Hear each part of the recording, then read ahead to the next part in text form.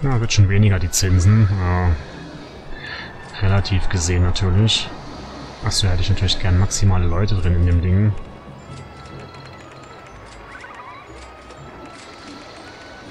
Ich meine, solange wir am Ende des Szenarios dann äh, 1200 Besucher im Park, äh, 2500 Besucher im Park haben, ist es mir eigentlich egal, ob wir die Schulden zurückbezahlen oder nicht. Wie gesagt, heftig ist es trotzdem. Vor allem, man erstmal, wie gesagt, denkt, so bestimmt mit vielen Abfall. Oh, müssen wir erstmal hier gucken. Wo ist denn das hier hinten? Gestern sagen sie, wir kommen nicht weiter. Ich habe doch aber schon hier. Das muss auch nochmal weg hier. Na komm.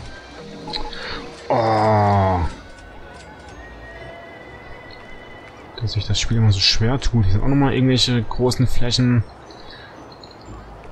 Das mögen die bei RCT.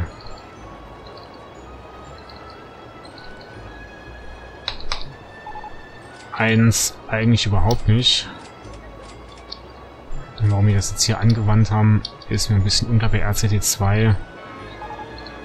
Ist das ein bisschen besser. Hier hinten ist auch noch irgendwie eine Sackgasse, warum auch immer. Da könnte man stattdessen einfach die Warteschlangen ein Stück länger machen. Hier hinten gab es jetzt Beschwerden wegen der Vermüllung. Das ist aber wirklich extrem. Hier muss man die schnelle Eingreiftruppe kommen und das einfach einmal hier wegräumen.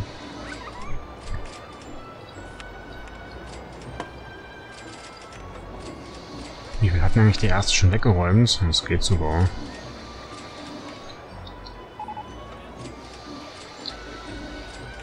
Den Parkausgang nicht finden. Eieiei.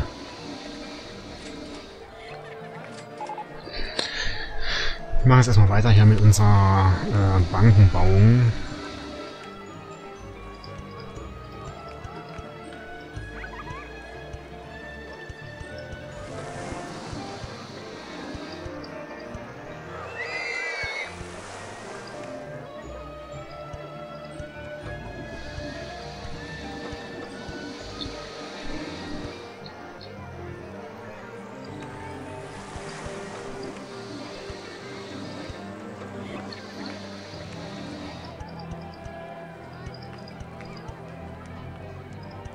Achso, ist glaube ich abgesperrter Weg, da komme ich auch gar nicht lang. Warum baue ich denn dort überhaupt eine Bank hin?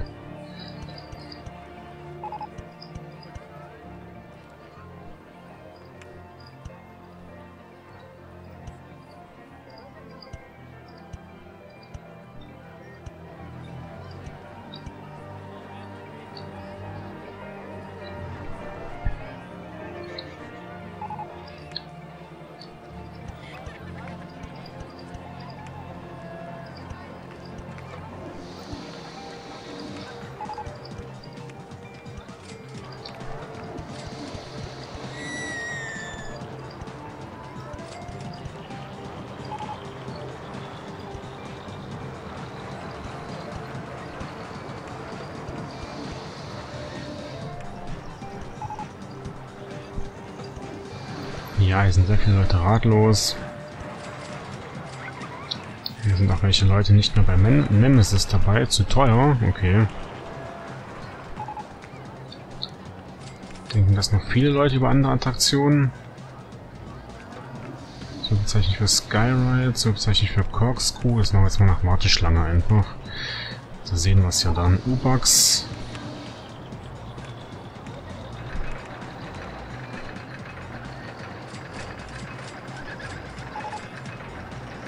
Go-Karts gibt's jetzt.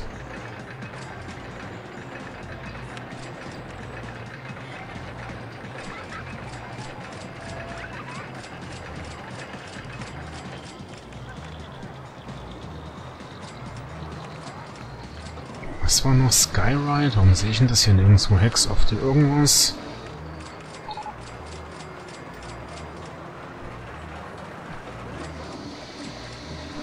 Vintage Cars. Toyland Tours. Ach ja, Corkscrew, genau. Ja, muss man auf 2 Mark. Hook Dancer.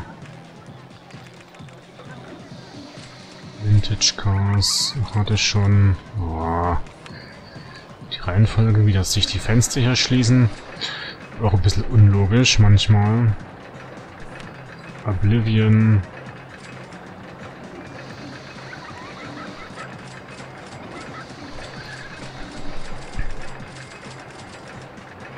Mir entschuldigt, dass hier die Preise so hoch sind, aber bei den Schulden brauche ich das Geld halt.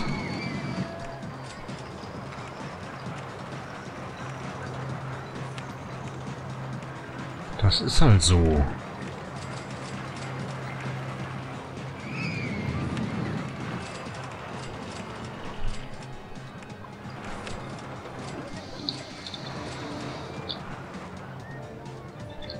Ist halt nun mal so.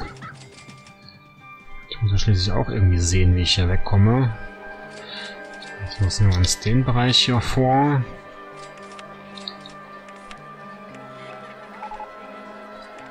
Ja, als Rathaus kann ich den Parkausgang nicht finden.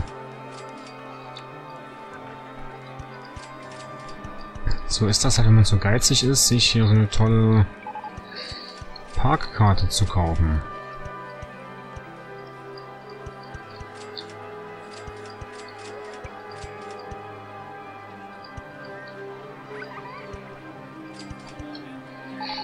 Heidepark gab es ja früher auch immer diese, dann zum, zum Ende, zum, zu den Schließzeiten, konnte man sich am Ausgang immer so ein Heidepark-Magazin kostenlos äh, mitnehmen. Weiß das jemand von meinen Zuschauern, ob es das heute noch gibt? Also, das, war wie so eine Zeitung auf Papier gedruckt.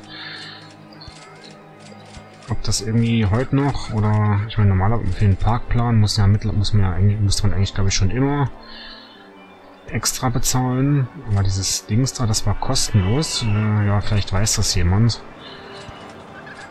Ob es das noch gibt oder ob das irgendwie abgeschafft wurde mit den neuen Besitzern. Da stehen eigentlich 5000 Mülleimer neben den Fressbuden. Ich meine, klar, Sinn macht das schon, weil da nun mal sehr viel Müll anfällt. So, hier ein paar Bänke. Ja, hier sind die Leute ratlos und können den Parkausgang nicht finden. Das ist aber kein RCT-Problem, ne? Manchmal so, wie wenn man früher zum Beispiel im Heidepark war. Da stand man dann so zum Ende, äh, bevor der dann geschlossen wurde, also an dem Tag dann jeweils, hat mich ja auch mal gefragt, hä, wo geht, geht denn das jetzt hier zum Ausgang? Bis man es dann gefunden hat. Das war auch mal so Sachen.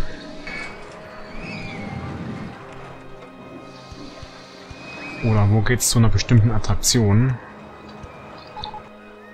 Ich kann mich noch erinnern, dass wir mal früher diese, diese Monsterpiste, die es ja leider auch nicht mehr gibt, dass wir die immer gesucht haben und die war dann so schräg gegenüber von diesem Delf von dieser Seerobben, Delfin, was auch immer Show gewesen.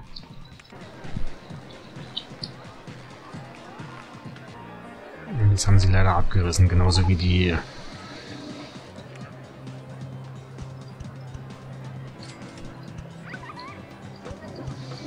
Genauso wie die... Untergrund... Wildwasserbahn. Die war cool, vor allem auch die Warteschlange. Also der Bereich, wo man gewartet hat, unterirdisch mit diesen animierten äh, Figuren dann dort. Ach, herrlich. Und das reißt man, das reißt man ab. Ich verstehe das einfach nicht. Ich würde sogar fast schon sagen, das war die Attraktion des Parks überhaupt. Und das wird einfach abgerissen. Und wenn man jetzt äh, ich glaube, ich wiederhole mich jetzt zum 5000. Mal, ja, was ich so über den Heidepark erzähle. Ja, es ändert ja nichts.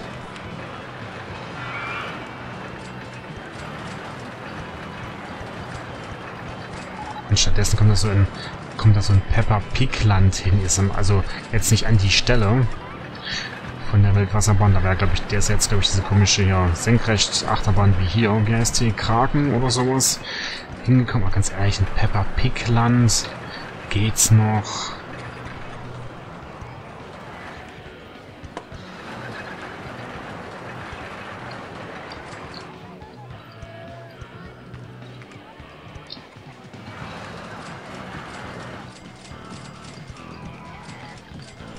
Meine, in, in, in, dem, in dem Six Flag Flags äh,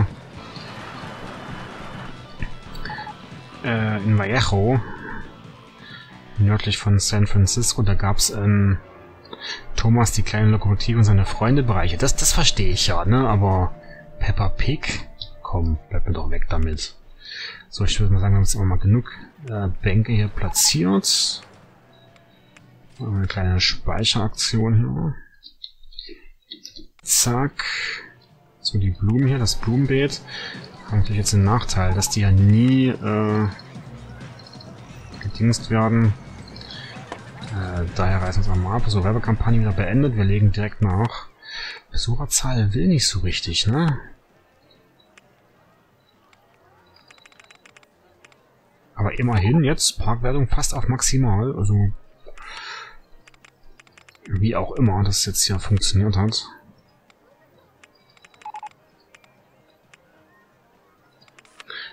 Eintritt auf, irgendwas Sinnlosen hier, Adventureland Slide.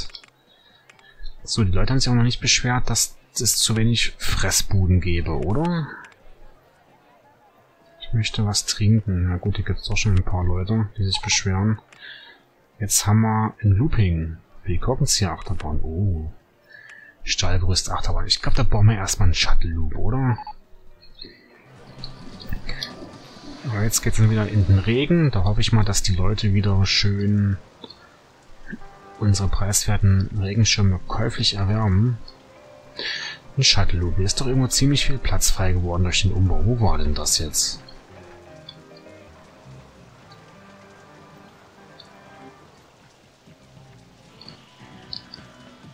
Hier. Hier würde ich ihn auch gerne reinstellen. So, Shuttle Loop, das ist eine Attraktion. Die wird wieder ordentlich die Prügel ausschmeißen.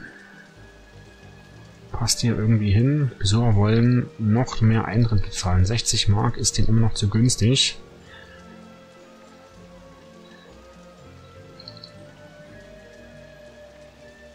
Achso, das ist wegen der Warteschlange blöd, wenn das da steht.